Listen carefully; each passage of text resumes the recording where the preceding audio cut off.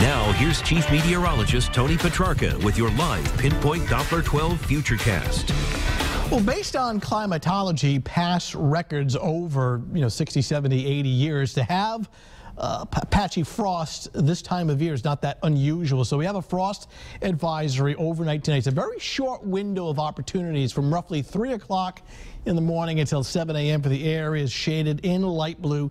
Do expect temperatures in our northern suburbs just before sunrise to be getting down into the mid and upper 30s. So uh, obviously we're chilly right now and we're setting up for an even colder night overnight tonight. Doppler radar though looks better. The rain has moved offshore. So again heading out this evening it's dry. You see showers. Actually heavy downpours and thunderstorms continue to track off to the east and southeast. We'll see some gradual clearing uh, during the overnight. So last minute voting heading out right now at least it's not raining, though still holding on to mainly cloudy skies and raw conditions. Humidity is on the high side right now at 82%. In Warwick and other places now, temperatures in the upper 30s to low 40s. We were a solid 15, even 20 degrees below average. It's already down to 37 in Smithfield and low 40s along the South Shore. You can see some of the showers from today now moving offshore. That drier air working in from upstate New York and southeastern Canada. So that clearing line will sink off to the south. The spell some sunshine for tomorrow. And as a result, temps tomorrow afternoon should be a lot milder. The front responsible for some of the showers continues to sink off to the south.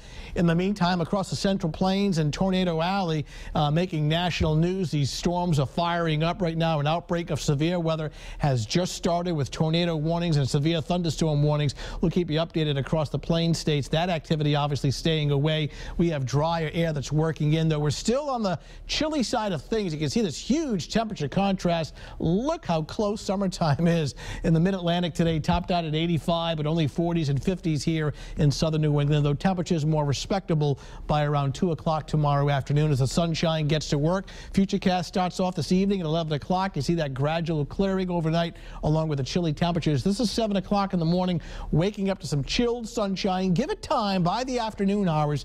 Temperatures a lot better, heading up uh, close to 60, 2 o'clock in the afternoon. All of New England nice and clear with the clouds and the showers staying offshore. And then by tomorrow evening, tomorrow night, clear skies, another very cool night as temperatures drop back down into the 30s. Futurecast for this evening, looking at temperatures are, are about now near 40, 11 o'clock in the evening, mid and upper 30s. So we'll call it cold and certainly a chilly start tomorrow morning at 7 a.m. starting off in the upper 30s. Plenty of sunshine by 11 o'clock. We're at 50. And during the afternoon hours, a lot better. Upper 50s to briefly near 60 by 2 o'clock in the afternoon. Low humidity, blue skies, dry and comfortable. So if you earn a living working outdoors, certainly tomorrow afternoon a lot better. Seven-day futurecast, really a nice streak of dry weather through the weekend. Thursday, pretty much a, a, carbon copy of what's on tap for tomorrow. That is sunny skies, temperatures in the upper 50s to near 60. Ditto for Friday. Weekend looking okay. Seasonable temperatures, mild afternoons and cool nights. Next chance for any widespread rain coming in on Monday with a temperature in uh, the upper upper 50. So uh, drying out tonight, but the, perhaps the furnace kicking on overnight as many locations heading down into the 30s, but a rapid warm-up recovering to 60 uh, tomorrow afternoon. You can download the Channel 12 weather app on your smartphones and on your tablets as well. Be patient another 12 to 15 hours. We're back on track. All right, we'll try.